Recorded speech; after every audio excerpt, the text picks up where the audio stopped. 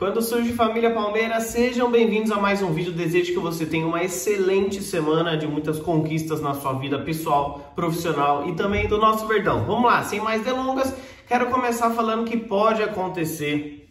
Olha, mais um jogador do Palmeiras pode ficar de fora do Verdão por um longo período. Trata-se de Patrick de Paula, que foi pré-convocado para as Olimpíadas e agora, com o corte de Douglas do PAOK, que inclusive esteve lá na academia, pois a seleção olímpica está treinando no, na academia do Palmeiras, ele até tirou uma foto com o Abel Ferreira. Abel Ferreira treinou o Douglas lá no PAOK da Grécia, né?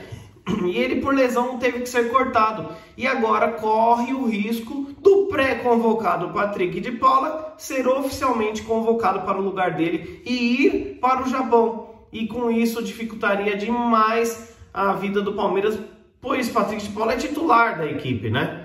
Ele alterna juntamente com o Wesley, ele joga um jogo sim, outro não, por conta do calendário apertado, mas é um jogador titular ao lado de Danilo, ainda mais agora que Felipe Melo foi para a zaga, né? Então podemos ter Patrick de Paula convocado. Está entre ele e mais outro jogador, não é oficial. Eu torço para que não seja convocado, porque qual é o benefício dele ser convocado?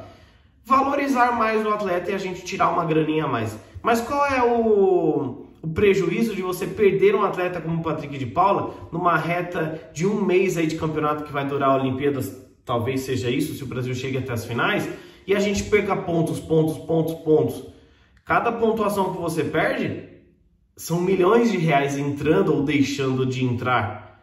Enfim, eu espero que Patrick de Paula não vá já temos Gabriel Menino na seleção e o Everton que está voltando machucado, apesar de não ter sido utilizado por Tite. Bom, queremos falar também que a volta do público foi autorizada pela Comebol mas não que vai ser agora a partir das oitavas de final já vai ter público. Ela foi autorizada para países que ou governos que autorizam a volta do público, que já tem a pandemia controlada, que não é o caso aqui do futebol brasileiro nem dos governos daqui. O Brasil estima aí que entre setembro e outubro tenhamos volta de público, mas por enquanto ainda não. Então, apesar da Comebol ter autorizado, ainda passa pela autorização aqui do nosso governo nacional, né? seja de cada estado, de times que estão participando, ou até mesmo do país como um todo. Então não devemos ter volta de público na Libertadores mesmo com autorização da Comebol. Quero falar que Borja é, recusou uma proposta do Boca Juniors e ele pediu um salário maior do que ele já ganha aqui no Palmeiras, que é um salário bem alto, né? Pois é, parece que ele está dificultando ou para ficar no Júnior Barranquilha ou para voltar ao Palmeiras, não sei.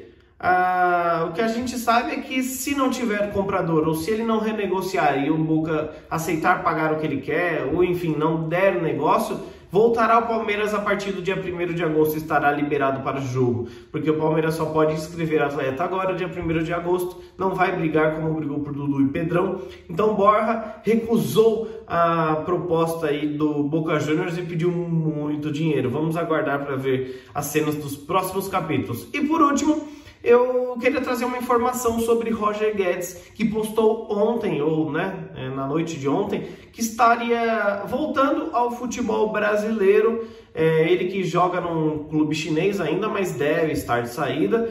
E ele postou assim, né? Partiu Brasil, bora trabalhar. Que Deus vai honrar, abençoe todos tal. Mandou uma mensagem positiva.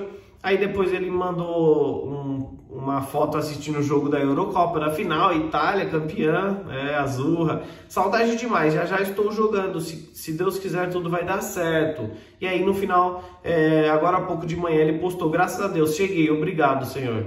Então ele chegou no Brasil para jogar. Aonde ele vai jogar? Eu confesso que eu não sei, mas no Palmeiras as chances são bem mínimas. Já entrei em contato com o pessoal do Palmeiras e falaram, mano, Roger Guedes, muito caro. Se eu pudesse arriscar, eu arriscaria que ele está indo para o Galo, mas não sei.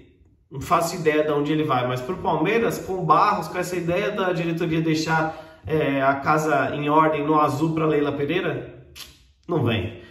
Tamo junto, família. Uma boa semana. Um abraço. Não esqueça de deixar o like e de fortalecer se inscrevendo. Um grande abraço.